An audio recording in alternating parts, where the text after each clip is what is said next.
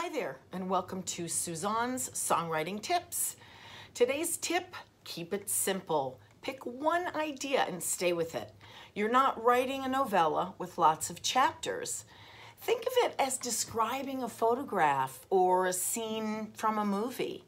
A good, strong song keeps it simple and gives the audience a clear message. You can use metaphors and imagery to create subtext and evoke a mood or a feeling. But if you're all over the road with your idea, no matter how much sense it may make to you, no one but you will get it. So today's tip, KISS. Keep it simple, silly. I'm Suzahn Fiering. Keep creating. For more free songwriting tips, click the link below.